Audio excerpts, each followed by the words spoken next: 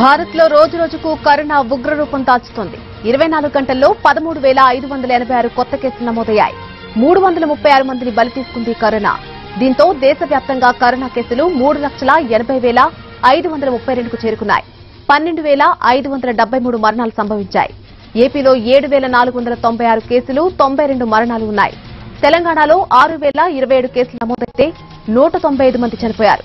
ఇక మహారాష్ట్రలో లక్ష ఇరవై వేల ఐదు వందల నాలుగు కరోనా కేసులుంటే ఐదు వేల ఏడు వందల యాభై ఒక్క మందిని బలి తీసుకుంది వైరస్. తమిళనాడులో యాభై రెండు వేల మూడు వందల ముప్పై నాలుగు కేసులు నమోదయ్యాయి. ఆరు వందల ఇరవై ఐదు మంది చనిపోయారు.